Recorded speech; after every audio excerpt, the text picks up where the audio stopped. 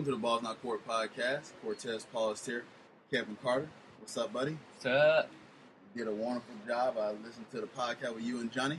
Thank you. Had so many downloads. Yeah, it was crazy. I want to thank everybody for listening to it too. I know a lot of it came off the, uh, the Jaguar board off of uh, Facebook, but it had a lot of positive feedback and a lot of downloads, which was surprising.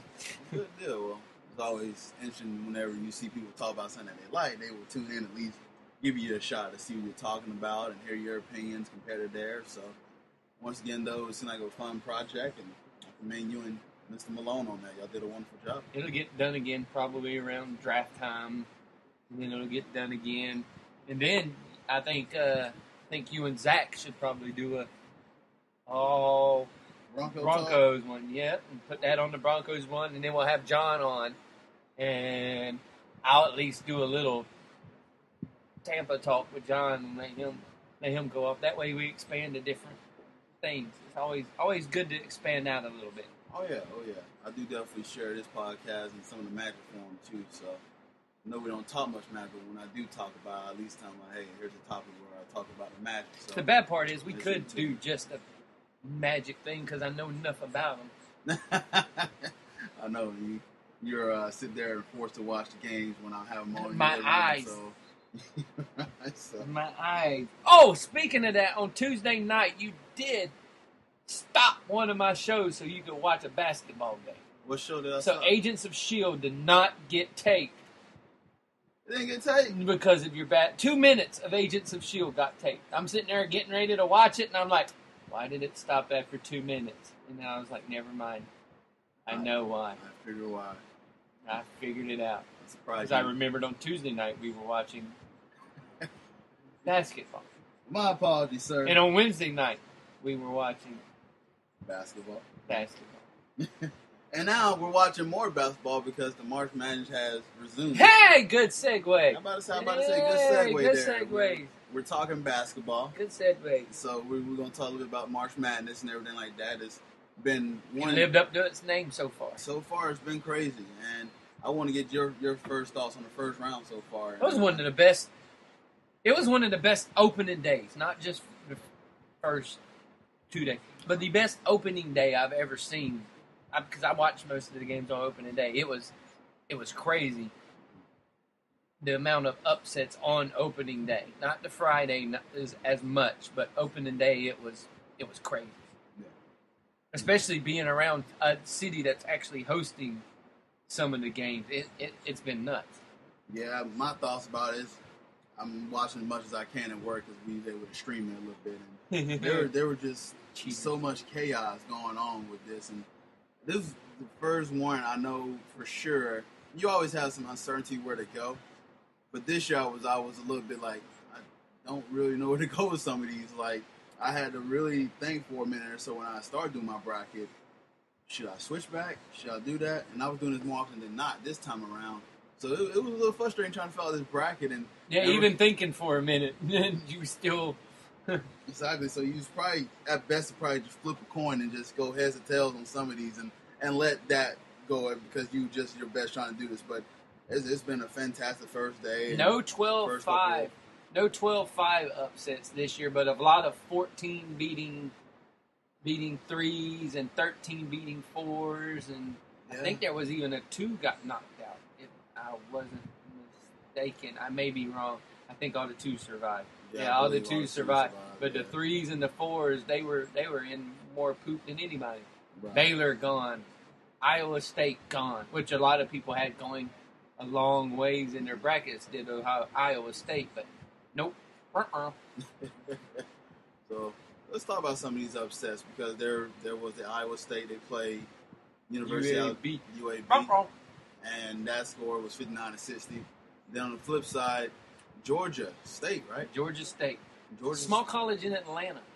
in Atlanta. You learned you learned that after after driving people around that were going going to watch that game. They beat Baylor 56 to 57. So, I mean, what was your, what was I'll get your opinion. What was your biggest upset? That was my favorite one. That was your the favorite. one? Georgia State over Baylor.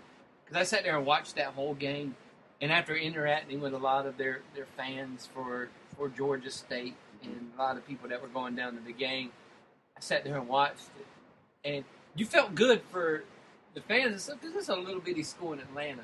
They're on one side of Atlanta, Georgia Tech's on the other side of Atlanta, and it, it was pretty cool to see. The best part was watching the coach who tore his Achilles celebrating the uh, the conference championship, sitting on the stool the whole time, trying to coach from the stool and watching him slide up and down the sidelines in the stool, and watching this hot uh, rehab person standing behind him the whole time. But she was she was, she was hot, but watching her sit there and reacting to every single thing he's doing, and then his son hitting the game winner and him falling off the stool in a celebration because he couldn't stand up. It was it all just added to be a really fun moment, and that that, that was a fun game to watch. Yeah, for me, I, I'm gonna go with him falling off the stool Yeah. is still the best part. The best thing of this thing so far has been him falling off the stool. That's been, I think, the most shown clip out of this stuff with dude just going ah! boom, right over. right. Yeah, for me, I, I'm gonna have to go with the UAB that because I did watch a little bit of that. I was just impressed at how they held up against this powerhouse that many people was expecting to go at least to the Final Four. And but them, they seemed like they was making shots. It, it seemed like it was just their day. Then it got down to the wire and they ended up pulling it out.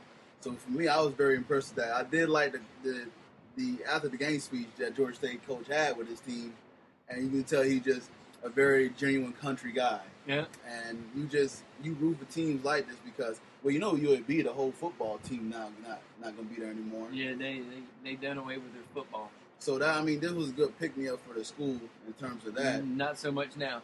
Yeah, not so much now because as you see, They they, got whooped. they, they got beat by UCLA. Oh, they got whooped. But even even UCLA had a little scare. Oh yeah. Um, Well, SMU UCLA shouldn't have had the scare because they were the underdogs. So they Right. gave they gave which we're we're not even going to discuss. Well, Uh, we're we're going to talk about that one, but UCLA shouldn't even been in this game. yeah, Yeah. we'll discuss that. Yeah, they, they shouldn't even been here. Right. Well, I mean, No, no, no, no, no. well, you you did the bracket, and do you remember your final four? I think my final four was I know Kentucky, uh, Kentucky, Arizona. Uh, I want to say Duke. I had Duke and Virginia. Yeah, Duke and Virginia. and my final game was Virginia against um, Arizona. With Yeah. Arizona winning, with Arizona winning the championship. All right. Well, I I, did- think that's what I had. like that's. I I'm believe- pretty sure that's what I had. That's pretty sure what you had, right? I'm pretty sure. All right. Well, I had two brackets. I had a pay bracket that I'm doing for my job. You know, five bucks, was just all a loss right now. So, I mean, no gain there. But, anyways, in one bracket, I got ESPN. I got Kentucky, Ohio State, Villanova, and Georgetown. In my, in my other bracket, what I have as far as that, I got Kentucky, Villanova, North Carolina, and Duke in one of them. Oh, So I took a lot of risks there. And a lot of risks. So yeah, a lot of risks. That's a lot of risks. But I just feel like this tournament has been unpredictable. At least on the first day, the second day it kind of went to to there. there. To me, I, I just and I know me and Kevin had this discussion off air. I, I just I'm in love with the kid D'Angelo Russell's game, and I feel like it's, you have that one guy that can get hot in a hurry. Dude can shoot out this world. He, I mean, you if you saw the behind the back crossover he had, I mean, to tell you how he's good with the ball. So I mean, I always feel like there's one guy that can get yeah, that hot was a nice move. that that's the guy I- I'm kind of banking on that.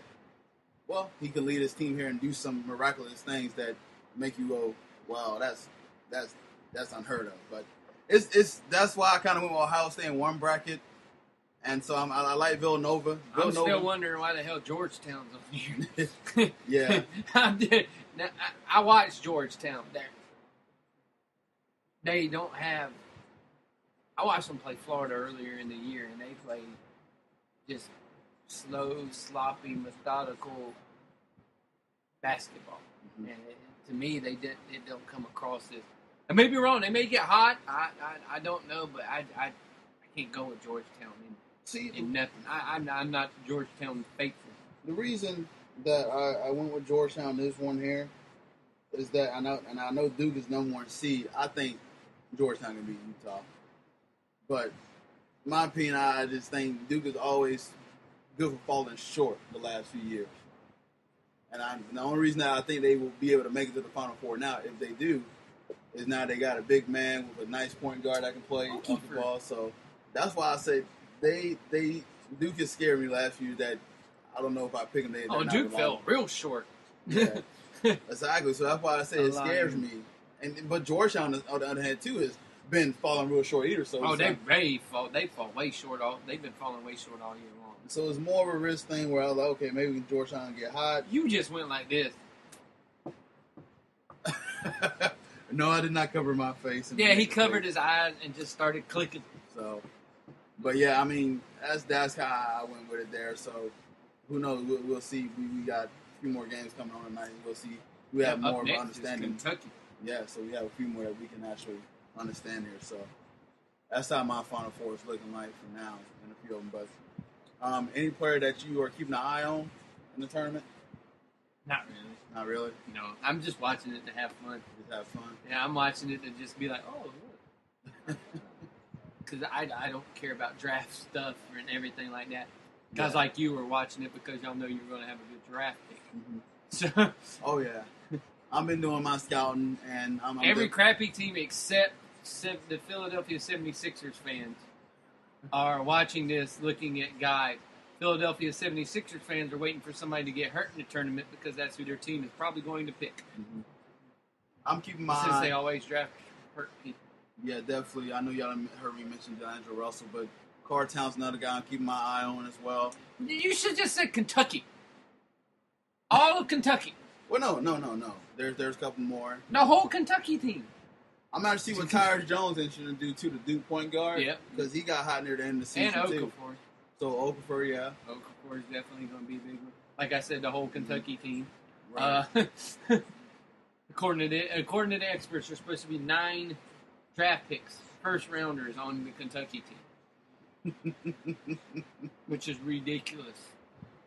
So Which makes you wonder, how does he get all of them to go to Kentucky? tell you what. That's why I'd hate Kentucky. honestly though, I, I will give them props because of the Harrison twins staying another year because they could have went to the draft. Oh yeah, because they stayed into their sophomore season.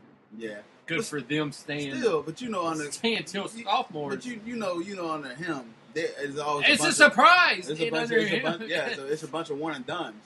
So way yeah. to go for them staying. yeah, I give them credit. They stood around an and extra, they went undefeated. Now they have a shot to win the title. So extra one year.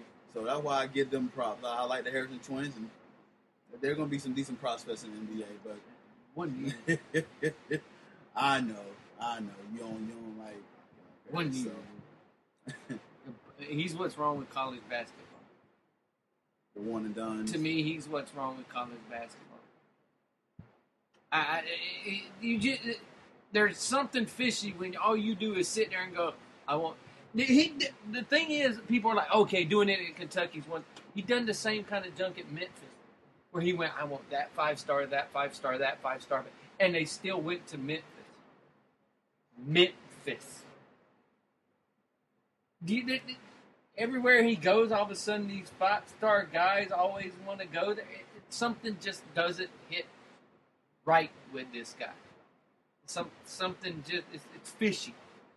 Don't like Fishy. it. It's fishy. Getting five star guys to go to Kentucky, that's one thing. But when they were going to Memphis, UMass. it, yeah, it, that that was that was one of those things. He got Derrick Rose to go to freaking. he got Derrick Rose to go there for God's sake. Yeah, I'm telling you, it's, it's, it's interesting. We'll we'll have to see. But like I said, this. Back up the wrench trucks. oh. Lord. All right.